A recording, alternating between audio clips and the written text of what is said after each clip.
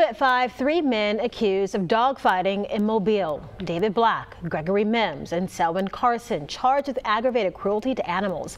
Police say officers were responding to a dogfighting call yesterday when they saw two of the guys driving near New Bay Bridge Road and Butt Street with a dog crate inside an SUV. When officers stopped them, they say they saw a dog with a cut across its face.